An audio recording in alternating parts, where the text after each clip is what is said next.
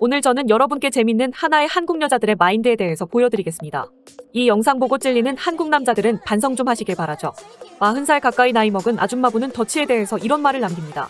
내가 밥 샀으니까 네가 커피를 사라고 모래 말이 되는 소리를 해야지.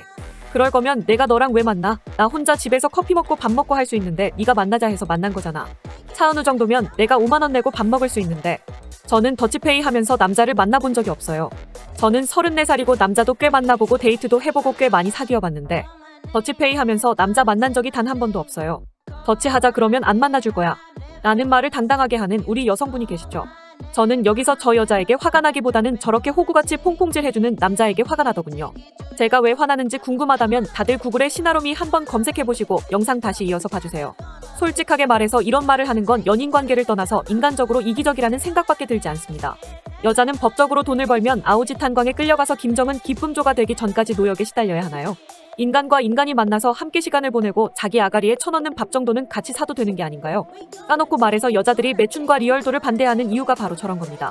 남자들은 성적 욕구 해소가 굉장히 중요한 성별이고 그 성욕 때문에 다 늙은 아줌마도 만나보겠다고 껄떡이는 건데 그냥 시원하게 성욕을 풀어버리면 여자들의 가치가 떨어지는 건 당연하지 않겠습니까?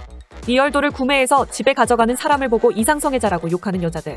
일본의 리얼돌 퀄리티를 보고 리얼돌을 사는 놈들은 정신병자라고 욕하는 여자들. 이 여자들이 이를 악물고 이런 걸 반대하는 이유는 남자들이 더 이상 여자를 필요로 하지 않게 되면 안 되기 때문입니다.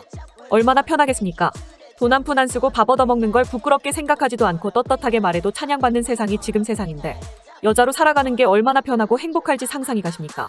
남친이랑 평소 데이트할 때 10대 빵으로 돈 한 푼 안 내는 거지년이 남자가 친구들 앞에서 계산 한번 하라고 말하면서 가오 좀 살려달라 말했는데 그거에 속상해서 눈물 나온다는 병신년. 대한민국 참 시발 살기 편하지 않습니까? 내가 밥 샀으니까 네가 커피를 사라고 오래 말이 되는 소리를 해야지. 저딴 소리를 들으면서 여러분은 여자랑 만나고 싶으신가요? 이 영상을 보면서 이런 생각을 하시는 남자분들 분명 있을 겁니다. 내 여친은 안 그래 내 여친은 그래도 내가 밥을 사면 커피는 사주니까 개념녀야. 나는 호구 퐁퐁 같은 생각 혹시 하셨나요? 이 영상 보시고 지금 당장 여자친구에게 데이트 통장 만들자고 말을 해보세요. 데이트 통장은 찌질한 거야 돈 없으면 연애 좀 하지 마. 라는 병신 소리를 지껄이는 여자와 만나고 싶으신가요? 여자가 흔쾌하게 데이트 통장 만들자 라고 말하는 게 아니라 어쩌고 저쩌고 나는 뭐 통장을 만드는 건 불편하고 어쩌고 저쩌고 변명을 늘어놓으면서 만들기 싫어한다.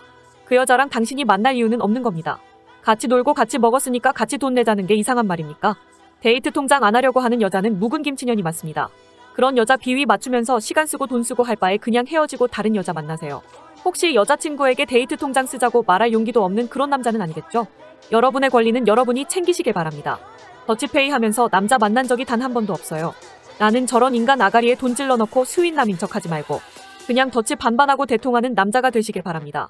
다시 한번 말하지만 대통을 하기 싫어하는 여자는 김치녀가 맞습니다. 여자친구가 덜 벌기 때문에 비율을 조정하는 정도는 할 수 있지만 대통 자체를 거부하면 그냥 헤어지세요. 영상 여기서 마치도록 하겠습니다. 여러분의 구독과 좋아요는 퐁퐁이 형들 구원하는데 커다란 도움이 된답니다.